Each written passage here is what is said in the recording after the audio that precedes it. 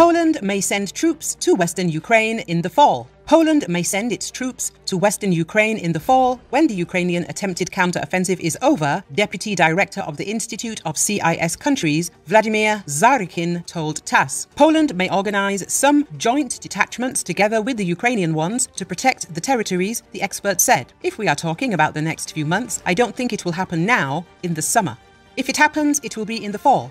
Zharikhin pointed out. Speaking about the conditions for the possible deployment of Polish troops in western Ukraine, the expert said that it will not happen now because while Ukraine is trying to attack, it will turn out that Poland is taking away a part of its territory. Zharikhin opined that this could happen if the Ukrainian counter-offensive is over by the end of the summer. At the same time, the expert noted that Poland would not take such measures without the US. It is necessary for the boss, Washington, to give the go-ahead because, of course, many people in the world will perceive the so-called hybrid variants of the participation of Polish and Baltic servicemen as an aggression against Ukraine, he said. Here, I think the Americans will consider whether such an action is advantageous for them.